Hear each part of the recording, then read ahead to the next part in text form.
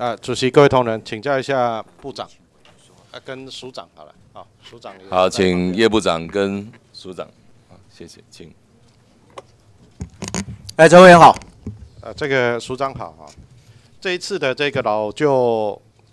啊建物的这个重建条例的一个修修正了哈，跟立法，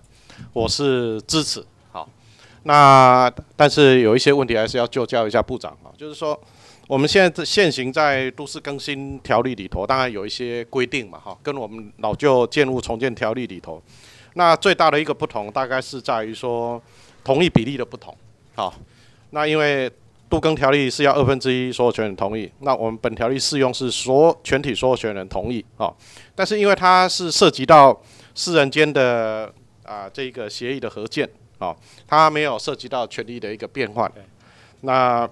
啊，由政府审查决定的所有权人的一个分配，这个都是规定在杜更条例里头啊。那另外呢，对于适用的范围，包括土地的面积，啊，在杜更大概要一千平方米以上，啊，大概要三百多平以上。那本条例是在这个它并没有做一些面积的一些规定啊。那换句话说，解决这些老旧建筑或者是危险建筑，我们这个立法是有急迫性的，是要立刻要来解决的。对，啊，它即便它并不符合都更条例的规定的时候，那有一些是啊，对于涉及到公共安全或者是公共利益，哦，所以我们这个法要推动，我认为应该要加速立法。对，好，那所以本席是表达首先表达支持的态度，好，但是第二点呢，这个问题就马上来了，好，那我们这一次在啊老旧建筑重建条例里头，它几个重大的项目了哈，包括说它的一个适用范围啊。那包括它的容积奖励啊、建蔽率的放宽啊、租税的减免啊，或者是贷款的保证啊等等，这个部分我们大概有一些配套啊。那提供了一些诱因啊。那这个当然都是站在这个建筑安全的一个角度来看啊。那因为根据我们这一个内政部的一个统计，在民国八十八年以前拿到建筑执照，大概有一百二十万的这个建造。哦，那一百二十万入，假如说你用百分之四十的这个啊这个估算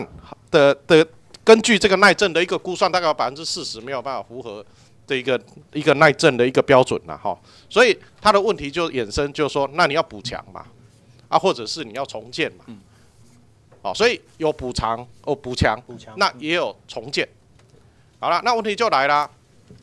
那你现在这一个方式的实施。按照我们现行法律的一个规定，你现在实施下去啊，又有时间容积，你又啊五年内你重建的话，那你又给给他百分之十的一个容积鼓励。简单讲，你这个案子是在鼓励大家重建。简单讲是这样，啊，那问题是说，我我举一个例子了哈，这个会碰到说一些文化或都市景观的一些冲突啦，比如说我们在高雄市啊。啊，高雄大学的陈启仁教授，他在哈马星在推动这种老屋的重生，啊，所以他保留了一些过去在日据时代、日治时代，抱歉，日治时代的一些啊城市发展的一些样貌，然后这个空间活化，那做各种包括文创啊，或者是其他的这个在地的产业的一些使用，那相当有特色啊，是相当有特色，那也保留了原来我们整个街锅哈马星。接锅的一些特色跟风貌嘛，那你现在我们这个法一实施下去，我按照我们现在老老旧建筑重建条例，我们一实下，你就是鼓励人家重建，你就是鼓励人家改建嘛，就拆掉，就鼓励人家拆房子的意思嘛。那这些留下来的这些有历史特色或者是文化特色，甚至是说对于整个街锅的这个特色的一些保留，我们这个这个这个元素就全部都消失不见了。那这个在高雄市。除了说在哈马星，在盐城区之外，都我们都会碰到同样的问题。那换句话的问题是什么？我们面临到说啊，要住的安全房子就拆了，啊，或者是说，那我们保留原来的特色，我们这个房子就保留下来，那旧房子就不要拆啊，对不对？我们面临两种文化保存跟整个都市开发的一个选择，或公共安全的一个选择，有两种选择嘛。所以我觉得修法的特色里头，哈。因为刚刚有委员要建议说要开公听，那我也支持。我我是希望说部长啊，就这两个之间的一个权衡，我们应该是在说这些危险建筑的这个改建或者是重建的过程里头，你应该有更多元的选择啦。你应该有一些，你应该鼓鼓励他，就是老屋补强，老屋新生，哦，那它的配套措施，它的优惠，也许也许，因为你原原屋保留，原屋的这一个新生的话，其实它就是维持原来的容积嘛，对不对？它其实容积没有减少啊，因为我们现行按照都市计划法，像在高雄市它的啊使用分区里头，我以三二为例，就是从四百九降到三百，所以你。因为容积减少，你鼓励它重建不要，所以我们这次就容积又给它补回去嘛，对不对？那你假如说老屋的新生、老屋的重建，保留它在地的特色、在地的文化的时候呢，它其实是原容积嘛，而且是原建蔽率嘛，所以就这个部分，应该是要给地方政府或者是在我们中央在整个法令修正的过程里头，你应该要给他更多的一个。多元的一个选择，让这些老屋新生有更多的鼓励、更多的奖励，甚至是更多在我们在财务财务上的一些支持，这样才对啊！是不是部长？呃，委员，我非常认同你刚才提到的多元这样的观念哈。那事实上，现实的状况也一定要让我们这样做。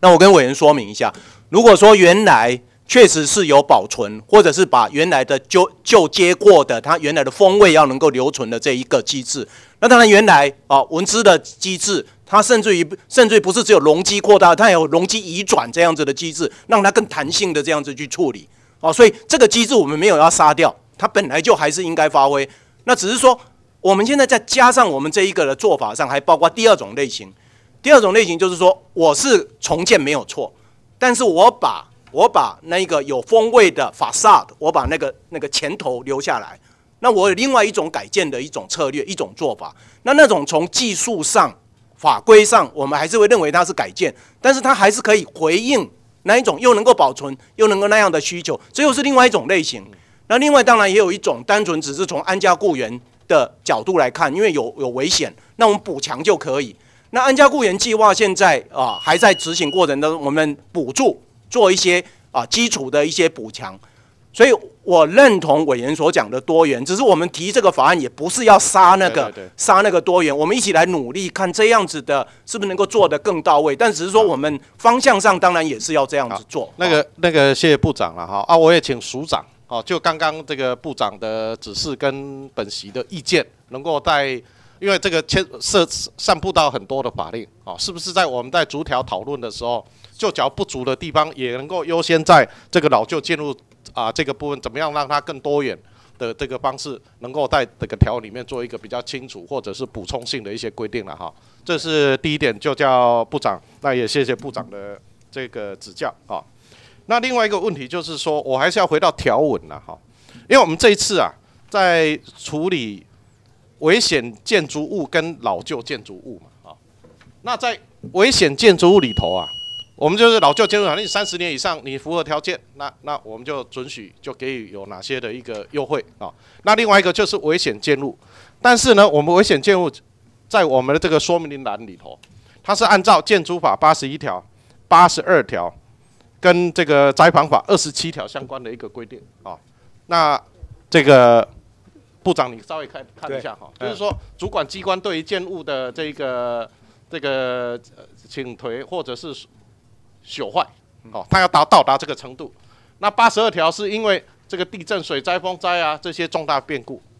那灾害防救法的二十七条也是为经过紧急的评估。那换句话说，它这些条件你这样看你就知道说，要适用到这一个所谓的危险建筑这个部分，其实它是相对门槛非常高，而且是比较被动。哦，它是被动说啊，因为有水灾，因为有风灾，有地震。啊，或者是因为已经倒了，或者是毁毁毁坏到某种程度的时候，才准予它能够适用本条例嘛。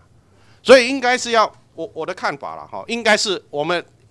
整个政策的配套，应该是要搭配我们过去在做老屋建检呐，或者是你刚刚在讲安家雇员计划里头相关的一些规定嘛。譬如说我们的耐震评估，我们是不是可以在这里着予放宽到说啊，民国八十八年九二一地震。以前说，因为我们当时在民国八十八年，我们的这个耐震的规范有做过，我们内政部有做过一些评估嘛。换句话，你八十八年以后的房子，因为九二一的原因，我们做过通盘检讨，那比较相对比较安全嘛。但是在八十八年以前，假如经过耐震的评估，或者是所谓的这一个它的一个详评的相关的一个规范，那我们应该是要准许它适用危险建筑的一个规范，而不是限用在一个比较消极被动，或者是条件相对来讲比较严苛。厝哪讲的大家这吼，其实也无几间啦。但是我们现有的统计，你百分之四十，在八十八年以前就有百分之四十是不符合耐震相关的一个规定，要做补强啊。所以你应该程序上，你应该就这个部分啊、比较积极的，对于一些减震或者是防灾的这个这个规定里头，更积极的一些政策上的一些作为才对啊，部长。我我想法也很对了哈。我们现在其实是这样，一方面是社会住宅，另外一方面安家雇员。那今天提出的这一个，其实也是了解到以前早前一任政府所提出的安家雇员计划，其实它不完整，嗯，而且甚至于不实际。所以，我们今天做这样的事情是搭配，但是安家雇员的一些基本的去评估啊，那甚至于甚至于一些处理的机制也要建立起来。不过，除了这三块以外，我们背后还有你刚才列出的这些法律。那我们现在面临一个很重要的问题，刚才讲到主动被动的问题的时候啊，面临了一个很很重要的问题，就在于说，我政府认为你危险，但是住户不认为他危险，这时候怎么办？不是你假如要适用这个条例，你就是譬如说经过这一个专业机构及建筑主管机关评估其结构有安全要拆除重建的时候，我们就适用这个法律啊。所以我们就是希望能够把所有这些衔接起来，好、那至于怎么衔接，衔接的，刚刚委员所提到有一些美感哦，也许真的是我们在讨论的时候要再注意一点的，让它衔接的更更更细一点。但基本的精神其实是要衔接的。好，好，那个那个署长，我讲你听好不啦？来，你讲者，你讲者。基本上是没错了，就是说，刚刚部长可能没有没有说了，因为这这些的这个危险建筑物，毕竟还是要要有啊专业者进去看它的梁柱的损坏情形，才可以做最正确的所以。我说要经过专业机构对跟这个主管机关合作。对，所以但是如果这个房屋有倾斜的时候，当然政府有所以你你可以主动你，依这两高个那。个署长要达到你这个标准是非常高啦。嗯，所以我的意思是说，你要这个在我们整个专业的评估的一个基准上，你就应该准许他可以同建的。是主管机关同意，然后经过专业的机构的一个评估，这样是一个比较科学而且比较有证据的这个做法嘛。不，你这弄爱告他们请推毁毁对所以呃朽坏，然后或者是当有灾难灾害发生了，你才来做改变，这个这个条件，我觉得这个要检讨了，好不好？都有检讨。这个逐条的时候，我再来跟部长就相关的细。节我们会在下然后在那个第四条第一项那个地方，我们再对那个它的定位哈，危险建筑定位，我们再来想好想究。好啊好，谢谢，好谢谢部长支持。